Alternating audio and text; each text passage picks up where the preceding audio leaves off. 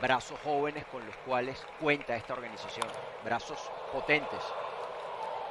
Grande por la derecha, atrás, atrás, enorme.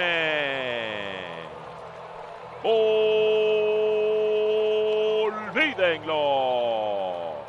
Cuadrangular de Jesús Sánchez, su séptimo de la temporada, se trae dos para la goma y Miami está en el juego, se acerca 5 a 2. Acuña creo ni siquiera se volteó. Batazo profundo por la izquierda, atrás, atrás, atrás. Enorme.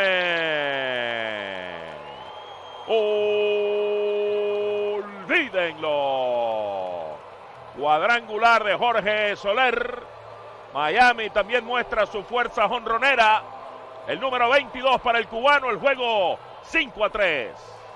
Luego de retirar a los seis primeros bateadores que enfrentó,